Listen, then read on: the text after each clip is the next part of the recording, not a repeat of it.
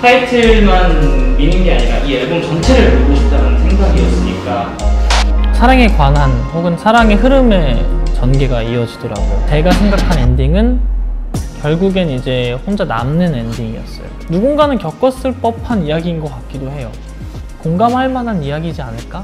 그런 사랑이지 않을까라는 생각을 많이 해요. 아 유튜버 유튜버로 전향해가지고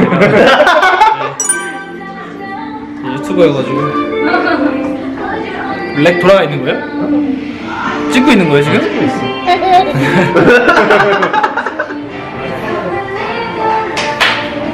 막상 들고 있는데 뭔 말해야 될지 모르겠네 아, 뭐, 얘기 아무거나 하는 거지. 춥진 않는지. 아, 춥진 않으세요? 아, 저. 어. 아, 팬들한테. 아니, 아니, 거 아니야?